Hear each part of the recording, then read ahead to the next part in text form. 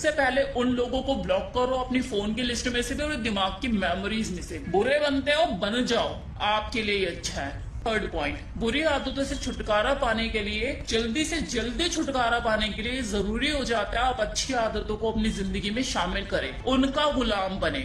आप खुद सोचिए, जब आप एडिक्टेड थे तो आपको फ़िज़िकल और मेंटल हेल्थ का कितना लॉस हुआ है? उसकी रिकवरी कौन करेगा? आप भी तो करोगे। तो कुछ अच्छी आदतों को शामिल कीजिए। टाइम आ गया अपनी मेंटल हेल्थ को इम्प्रूव करने का। अभी तक तो कूड़ा कबाड़ा ही देते आए ना? ये देख लिया, वो देख लिया, हो रहे हैं पागल।